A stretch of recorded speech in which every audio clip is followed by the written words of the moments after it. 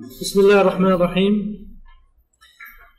أهداف المحاضرة كسر كلمة مرور مستخدم لنظام ويندوز. بدنا ننشئ مستخدم على نظام ويندوز سبعة؟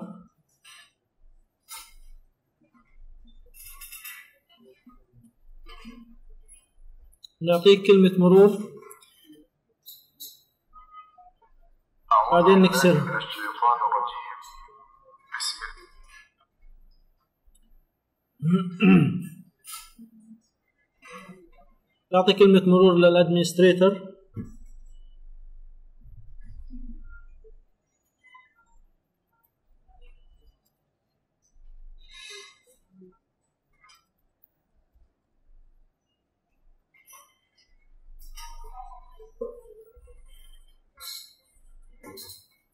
الآن لو عملت لوج اوف هيطلب كلمة المرور.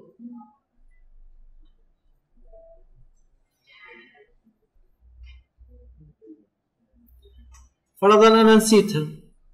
لا مش هيرضى فرضا إحنا نسينا كلمة المرور للأدمنستريتور. ف بدي أحمل اسطوانة الهرن عشان أكسر كلمة المرور.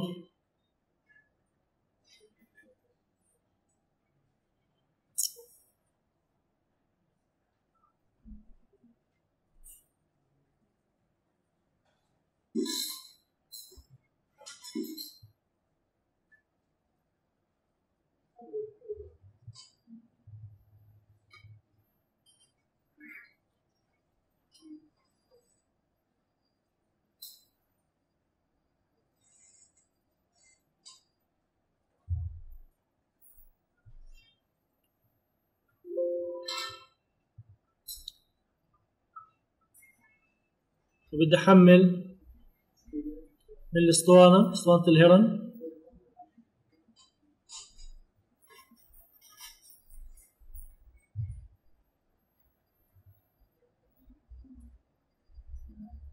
خليني أعمل شت داون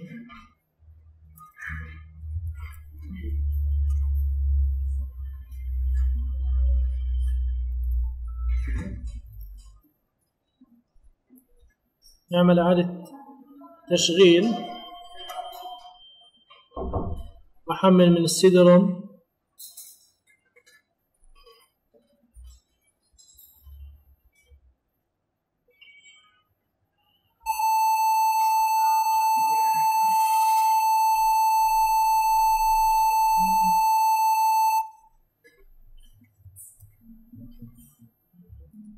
الآن عشان نحمل من السي روم بضغط على زر البلس.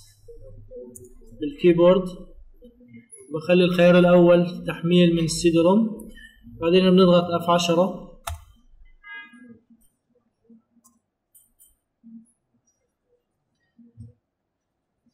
هان في عندي اوف لاين باسورد تشينجر بختاره. فالآن بعد ما عدينا في عندي هان خيارات عشان آه، أأكد المسار بدي أضغط انتر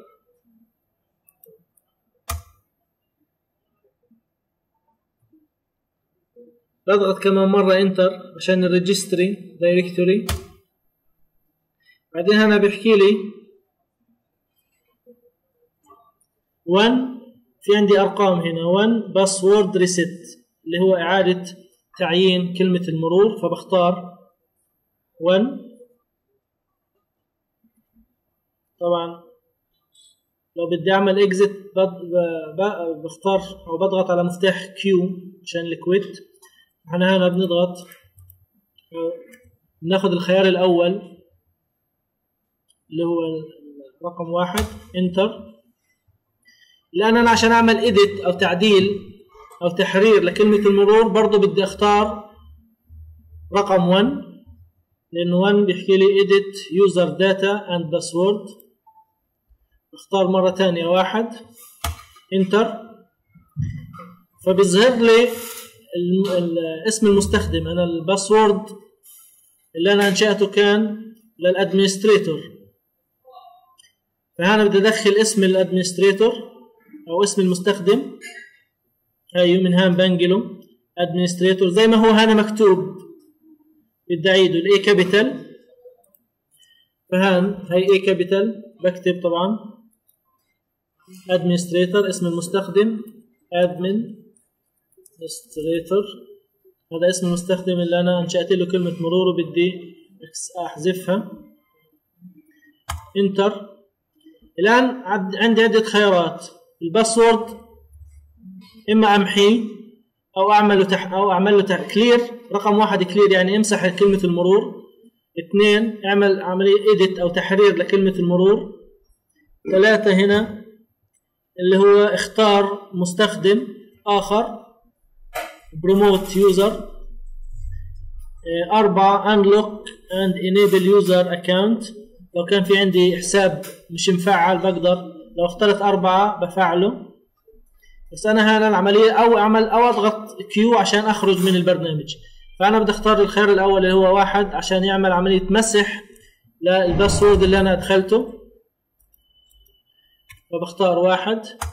انتر هيك أنا أنهيت عشان أطلع من قال لي اختار اللي هي شرط التعجب هذه عشان أعمل كويت عشان أخرج من البرنامج.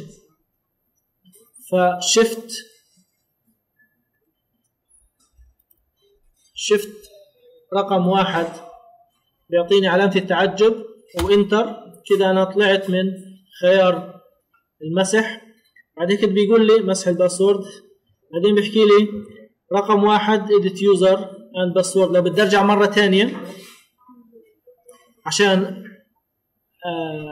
أعدل على اليوزر بقدر بضغط واحد. بس أنا الآن خلصت انهيت.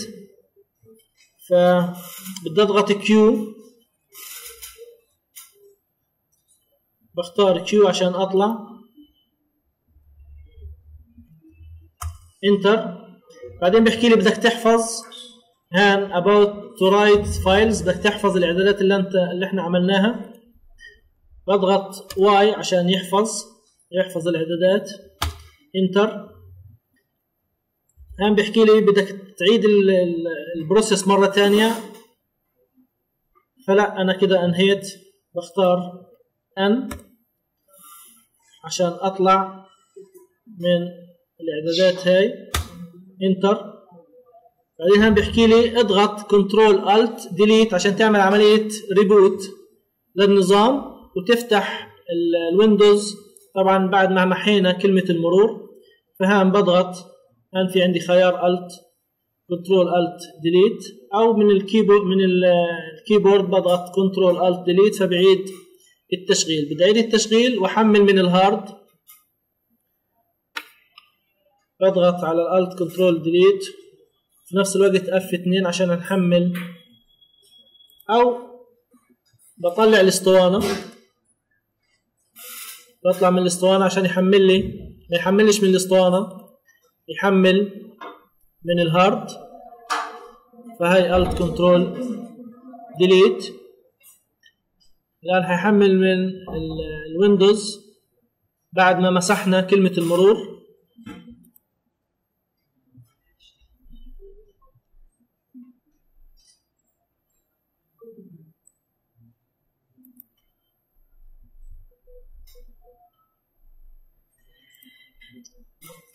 الآن بعد ما حملنا الويندوز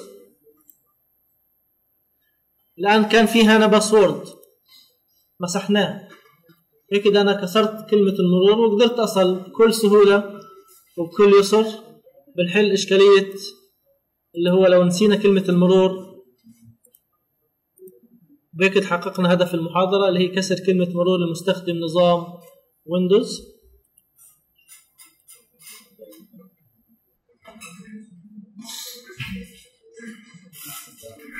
بسم الله الرحمن الرحيم. أهداف المحاضرة كسر كلمة مرور مستخدم لنظام ويندوز. إذا ننشئ مستخدم على نظام ويندوز سبعة؟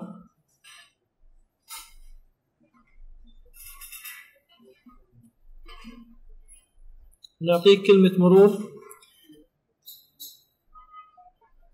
بعدين نكسرها.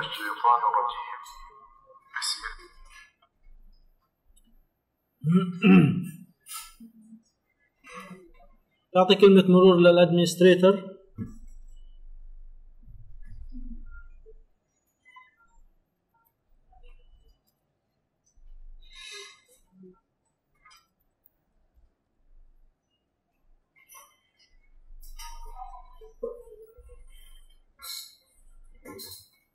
الآن لو عملت لوج أوف.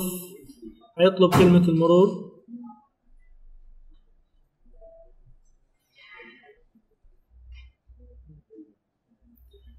فرضا أنا نسيتها. لا مش هيرضى فرضا إحنا نسينا كلمة المرور للأدمنستريتور. ف بدي أحمل اسطوانة الهرن عشان أكسر كلمة المرور.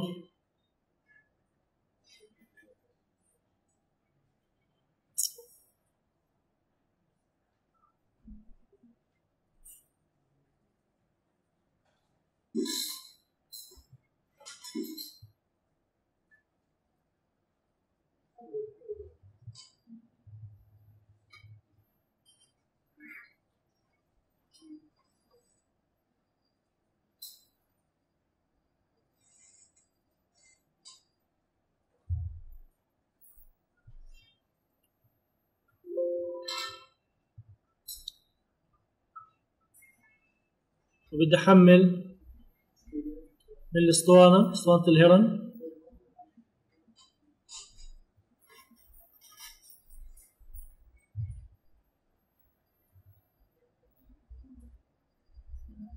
بس خليني أعمل شت داون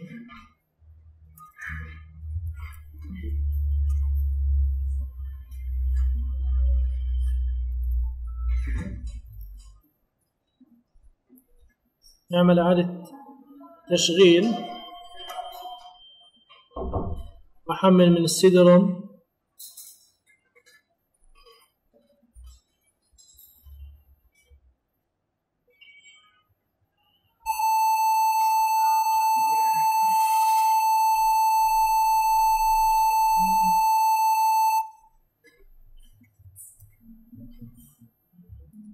الآن عشان نحمل من السي روم بضغط على زر البلس.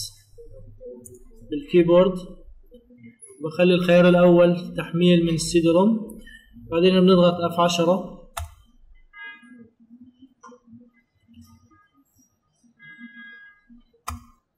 أوه، سوري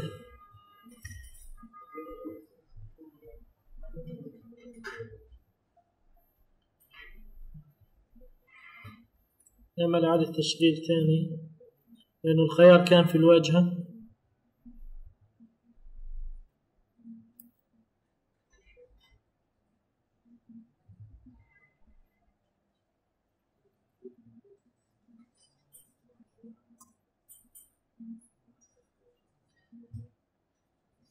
هان. في عندي اوف لاين باسورد تشينجر أستاذ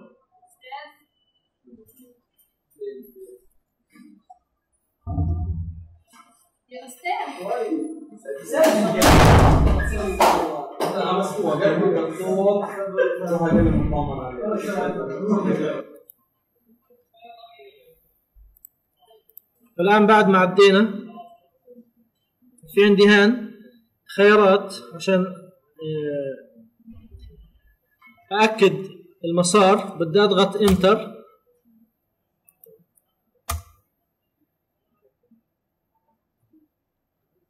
بضغط كمان مرة انتر عشان الريجستري دايركتوري بعدين هنا بيحكي لي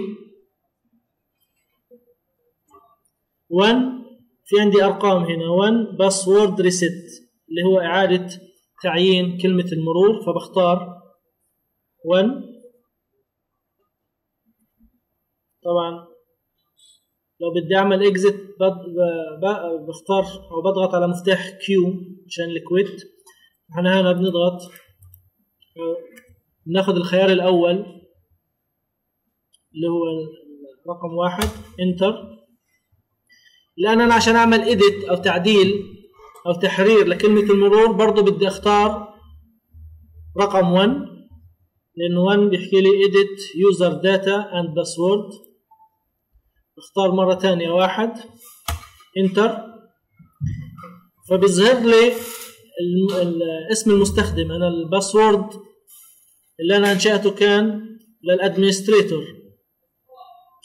فهنا بدي أدخل اسم الأدمنستريتور أو اسم المستخدم.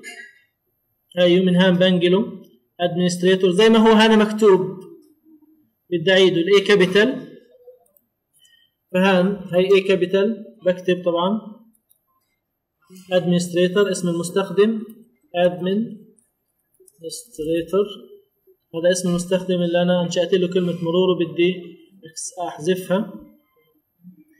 انتر الآن عندي عدة خيارات. الباسورد.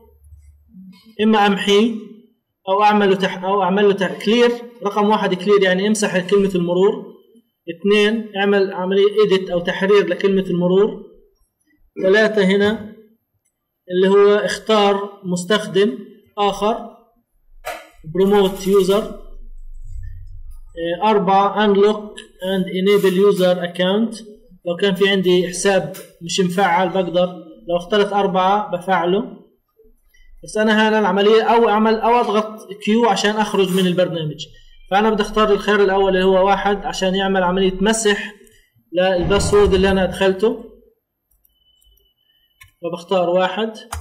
انتر هيك أنا أنهيت عشان أطلع من قال لي اختار اللي هي شرط التعجب هذه عشان أعمل كويت عشان أخرج. من البرنامج. فشفت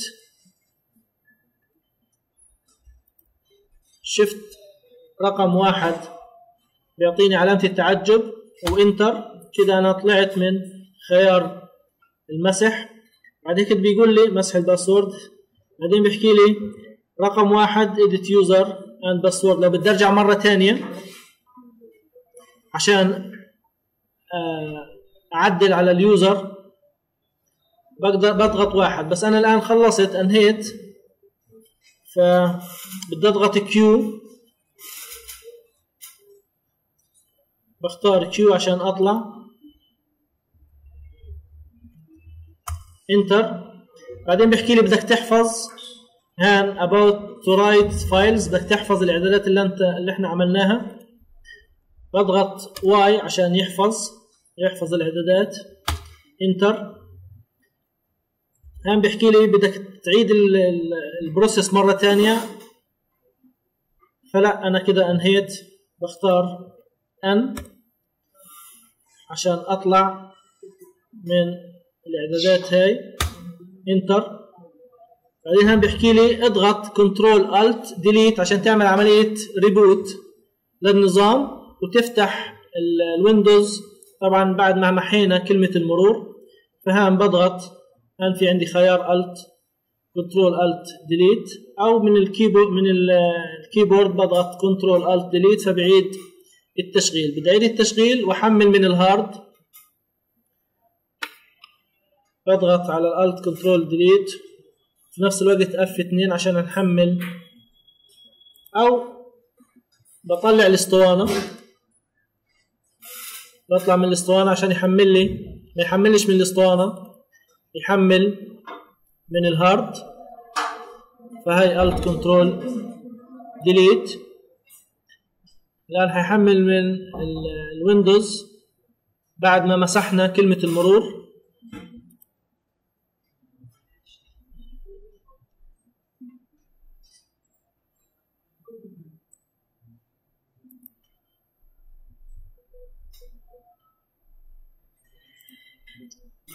الآن بعد ما حملنا الويندوز الآن كان في هنا باسورد مسحناه. هيك كده أنا كسرت كلمة المرور وقدرت أصل بكل سهولة وبكل يسر بنحل إشكالية اللي هو لو نسينا كلمة المرور. بهيك تحققنا هدف المحاضرة اللي هي كسر كلمة مرور لمستخدم نظام ويندوز.